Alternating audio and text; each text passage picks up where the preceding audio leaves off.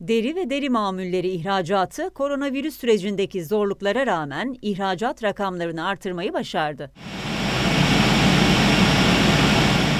Türk deri ihracatında ilk sırayı ayakkabı sektörü alıyor. Geçen yıl 316 milyon dolar olan sektör ihracatı bu yıl ise %15'lik artışla 364 milyon doları buldu.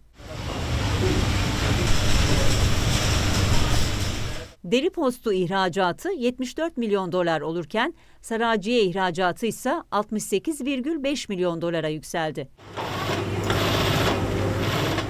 Türk derisi giyim sektörünün de vazgeçilmezlerinden oldu.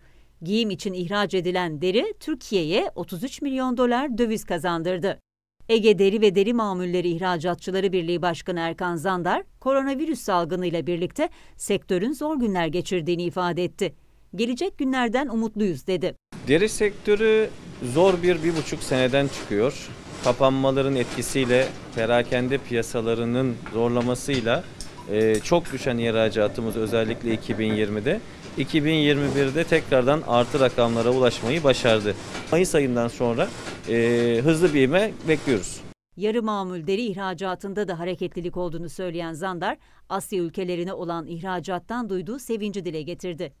Çin, e, Hindistan gibi ülkelere kromlu deri ihracatımız ki bu çok düşüşler yaşamıştı geçmiş dönemlerde tekrardan bir artış kazandı.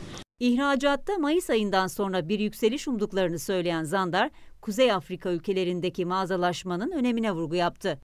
Libya, Fas, Tunus, Cezayir gibi ülkeler şu anda zaten bizim e, ülkemizde bulunan yerli perakende firmalarımızın, markalarımızın da şubeleştiği, orada çoğaldığı bir bölge olduğundan oraya hem çanta hem saraciye ürünleri hem de ayakkabıda belli bir artış görüyoruz evet.